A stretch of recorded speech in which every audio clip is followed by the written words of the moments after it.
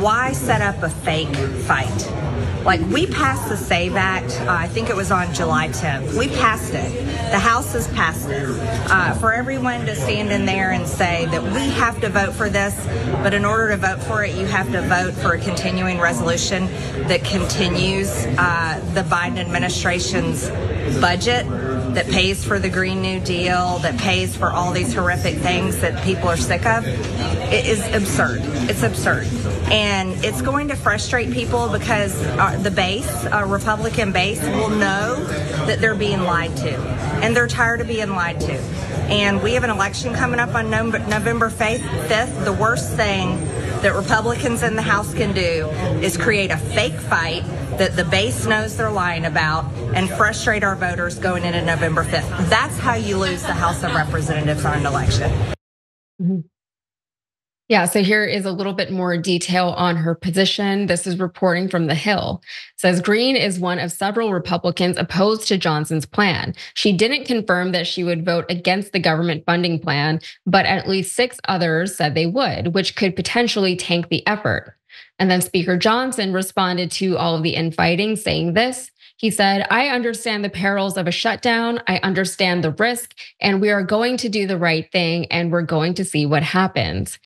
A storm is tearing up the digital media industry. Only our audience can save us in these difficult times. Help us reach our goal of 100,000 new members at tyt.com/team. Why is the extreme wing of the of the of the House fighting to push this extreme plan It's because they don't believe that the speaker's real plan is, as Greene hinted, that it's just kind of like a fake fight line. And with that said, here is reporting from Axios. Uh, it says Johnson has repeatedly deny that he has a plan B if his proposal fails, but some of his GOP colleagues privately predict he will push a compromise measure in the end. That will likely need to happen under a process that requires a two thirds majority for it to pass, meaning a significant chunk of Republicans would join the with Democrats to vote for it. And with the GOP in chaos over all of this, Johnson may have to turn to Democrats who are already strategizing. They said uh, with current funding set to expire on September 30th, Democratic leaders are plotting with the White House to try to force Republicans to instead accept a short term spending bill that would fund the government through mid December. All right, just like a band aid solution there. The Democrats' goal is to get funding beyond the December deadline to avoid a lame duck session of Congress, setting up a tough spending fight in Congress for a hopeful Harris administration come January 20th. They plan to message around the harm to military readiness and veterans care and disaster sorry, disaster relief and other national security priorities to achieve this. And the alternative is a shutdown they can blame on an irresponsible GOP as voters go to the polls. So either way, it kind of works out for the Democrats. Uh, Brett, how do you think this is all going to shake out? Do you think we're going to have a government shutdown, or do you think maybe even Johnson will lose his gavel? Uh, I don't think that if Johnson loses his gavel, it is uh, indicative of such chaos in the Republican Party that that is like a levee breaking for a blue yeah. wave to just. I mean, that's how he got the gavel in the first place, right? Exactly, and he's been just vanilla, and you know, he just seems like he's trying to sell me Bibles enough to to just be like, "Hi, what are you doing there, friend?" Um, and and get through it without that kind of insanity. And he has been a person who you know, maybe it's just because it's relative to previous people who have been absolutely crazy. He's like, I actually do want to get these things passed because I don't want to be the one uh, holding the bag when, you know, it's time to have the election. I don't want to be the one responsible for losing seats and thus my speakership. His own job hangs mm-hmm. by a thread. And the important thing is him winning seats, not Trump winning, but they're kind of hand in hand. Um, but the only real fake fight I want people to focus on here is not the fake fight between Republicans. They're a mess. Everybody knows it. And, and mm-hmm. she's right when she says they, they might lose the House. Um, the fake fight is this fight against uh, election security failures. There is no election security problem.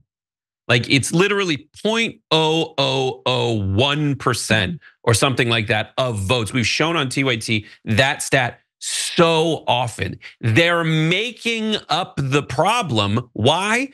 Well, Trump cries about it all the time and everybody's had it.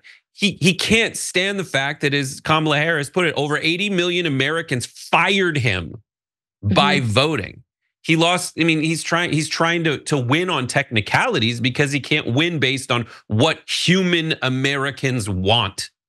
And that, and that's what they're they're trying. They're creating. They might shut the government down because they've made up a boogeyman that doesn't exist.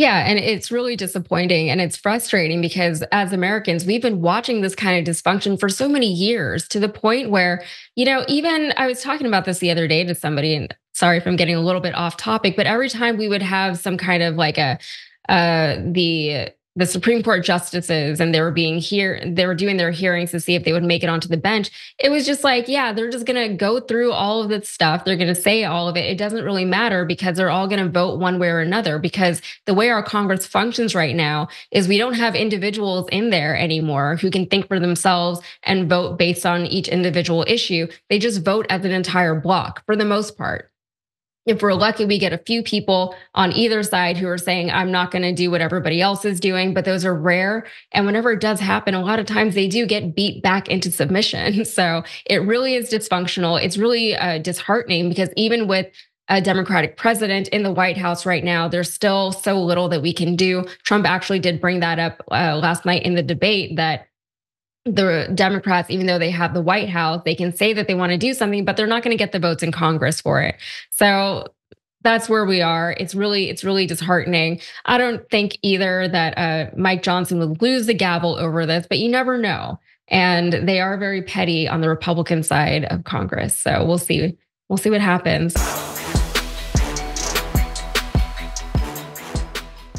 Members make a difference here at TYT. You help make the show happen, and we see you in the chat with your loyalty badge. Click the join button to become a member today.